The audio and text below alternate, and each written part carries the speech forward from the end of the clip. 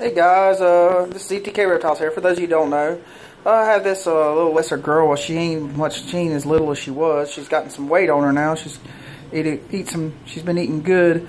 Um, but the thing I wanted to say about her is, uh, she was one of the little girls. She was the girl that um, a while back she got loose or she escaped out of her cage, and happened to be on the same day she was supposed to be sold to a customer. And I just thought I would do a little video of her and how well she's doing and uh, how fat she is because she just ate a fuzzy a two days ago, a very, very nice size one. She's a little hungry eater.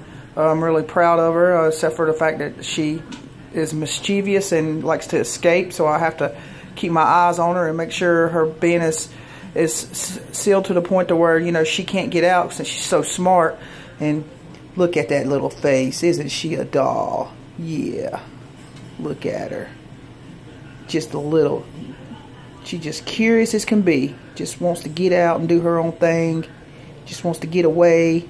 She says, I want to find my way out. Look at her. She just want to get away. Yeah. Just love my snakes. Hope everybody's doing great. Got a lot of new additions coming. Got a good, quite a many. Just her just trying to get away right now. I'm going to have to put her away. I hope y'all have a great day and a great night. ZTK Reptiles out.